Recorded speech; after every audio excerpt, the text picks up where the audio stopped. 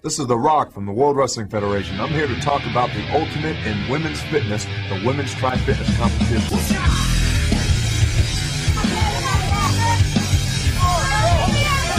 That's great.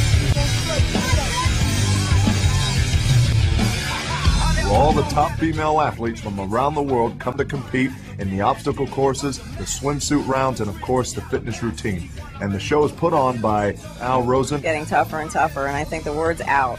And these girls know how to train for it, and they're training harder and harder. We got 50 year olds, we got 18 year olds. I mean, I'm what, 23, and I'm competing as 40 year olds have awesome bodies. Things that you didn't think you could accomplish that you could actually reach.